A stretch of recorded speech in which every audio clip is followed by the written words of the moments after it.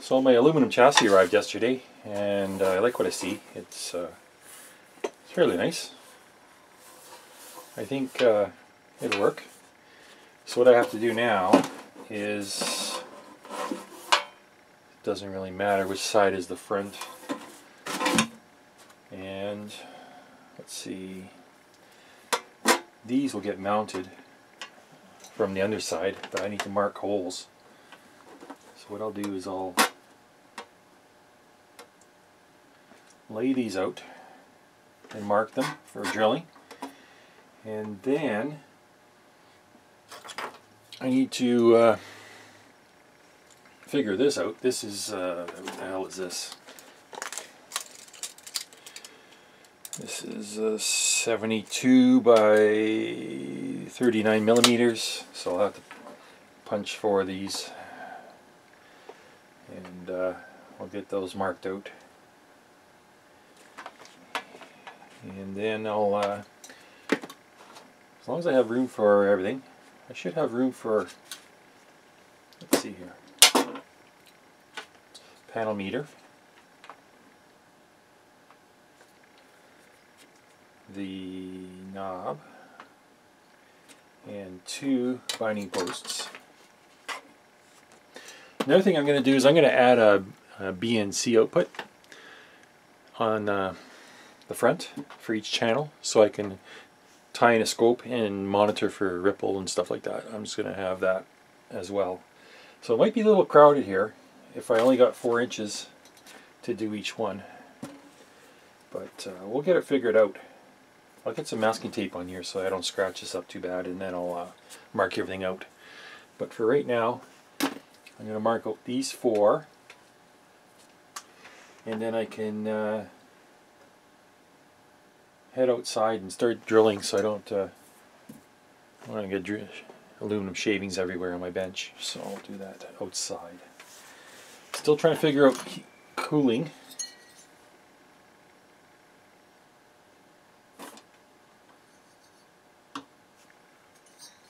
That's too tall right we'll get something figured out. One thing I noticed is the holes aren't perfectly uh, registered. These holes up front here, or the back actually, are okay. These ones are off. I don't know if you can see that. See how they don't? If I flip it over, so it's it's out by a couple millimeters. I just got to keep that in mind when I'm doing my layout here because these boards will be flipped over and mounted from below. So I'll have to uh, use this as my template I guess. An upside down board and then I can space this out properly and mark it out. Another thing I got to do is cut a bottom here because I didn't buy one. I'm cheapskate. So I'll need something that is 10,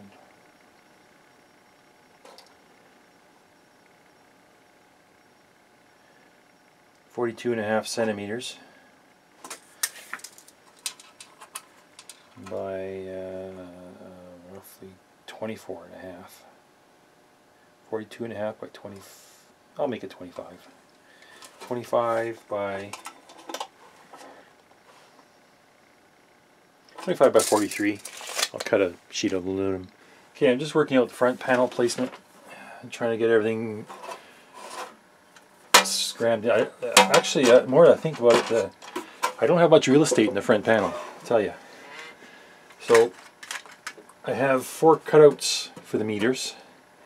And I squished them all this way because I want to leave a little bit of room uh, for a power switch and maybe a panel mount fuse holder on this end because if I evenly spaced them there would be no room for a power switch anywhere on this thing.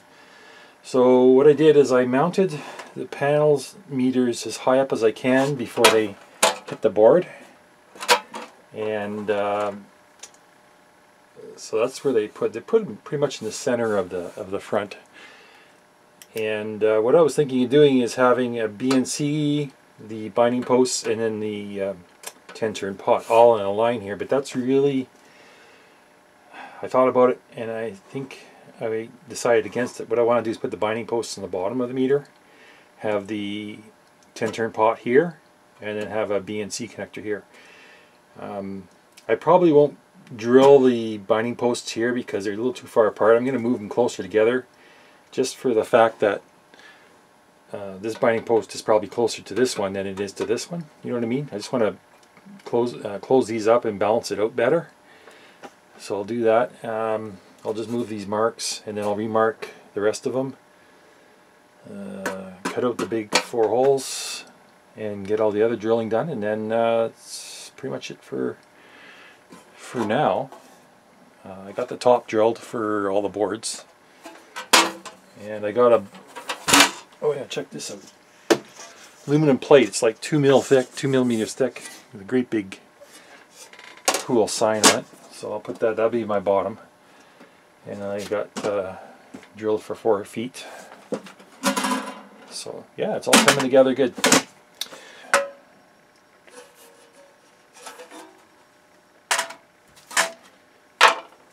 Okay, so I finished the assembly of the last two boards because they weren't done and I'm just starting to do wiring. Um, what I'm going to do is I'm going to wire it up as, a, as an assembly and then just put drop the whole thing in. Problem I'm having with some of this stuff is, it's not really a problem, it just adds extra work for me, is these voltmeters. Um, they have a real cheesy connector on the back for the high current. It's supposed to be able to feed 10 amps through this thing. I wouldn't trust these little connectors for 10 amps. What I'm doing is removing them, soldering the wires directly to the board, and that way I'm not going to have any um, high resistance uh, connections or any hot spots like that. So I'm going to do that, and then each each uh, each um, voltmeter has going to be taking power from its from its electronic load board. So I got the ground attached to ground and power wires and then uh, this will go with the sense wire goes on the input. I'll get to that. The um, other than that everything's pretty straightforward. I have not put any thought into cooling yet. I've just been working on the chassis. I got standoffs for all the boards put in. I got the front panel cut and uh, I was test fitting a few things here and there. But um, you got to remember when you start cutting big gaping holes in, in one of these panels, this gets really weak. So you got to be careful you don't push on it and cave it in or anything like that. So um, my plan is just to build this all as an assembly and then just drop it into the thing like I said, I have lots of room for cooling. Um, I have uh, some heat sinks. I might use one of these. Let me just hang on here. I'm thinking of going this route. I have a server heatsink. These are Thermacores. Um, not cheap units because they have the uh, the copper heat pipes in the, in the built into the back of them to uh, distribute the heat. So what I'm thinking of doing is using one of these, just one. I know it's kind of an ugly thing, but if I can get this in here, um, let's see here, get this out of the way, before I crush something have that assembled in there. Have all my MOSFETs converge onto it and I'd have to clamp them down somehow. Doesn't look like there's much room for tapping and drilling holes so I don't know if I'll go this route yet. I still haven't decided. And then uh, it would just be one single fan on one end either sucking the air or, or pushing it through something like that. I'll have to cut this open and then I'll have all the air going through. Um, might do something like that. I got lots of room. I got room to do all this different things. Or I could put it in this way, have the air flowing. Which way does the air flow? And this doesn't matter anyway. I'll just put it here. Put it like that. air flows through on the uh, provides the cooling I need. That's one, one option. Um, another option that I could use a pair of these. The problem with using more than one heatsink is I only have one fan controller and the fan controller has only one um, sense input that I am aware of. I really haven't really looked at it, but uh, if I can find it here, I can look at it. But uh, the problem with using multiple um, temperature sensors is that I have to figure out, okay, how do I get them to trigger at certain levels and stuff. And I just don't want to complicate this any more than I have to. I just want to keep it simple. This power supply I was looking at might not be adequate because it's only 5 volts and I don't know if I can jack it up to 12. I'll still experiment with that. But I still have other power supplies here. I have 24 volt ones. I got uh, multiple multiple voltage. Let me look. This one here, for example's uh, outputs uh, 24 volts and 32 volts. It's got uh, two and a half amp fuse on the output and a two amp fuse on the output. So I think it's got a little bit of power behind it. It's a nice unit. Small enough, it'll fit inside here wherever I put it. I can mount it on the side of the chassis or on the top. But uh, 24 volts, I don't have to use 12 volts. I can use 24 volts on uh, on these boards. And I believe for the voltmeters as well, I think they can take up to uh, 24 volts. Um, I would just need to find a 24 volt fan, and I'm pretty sure I have some kicking around here. I got 12s, I can get 24s. The problem with using this heatsink is uh, how do I mount the 16 transistors? I guess I could do it like this. I don't know if 16 transistors would fit on one, one side.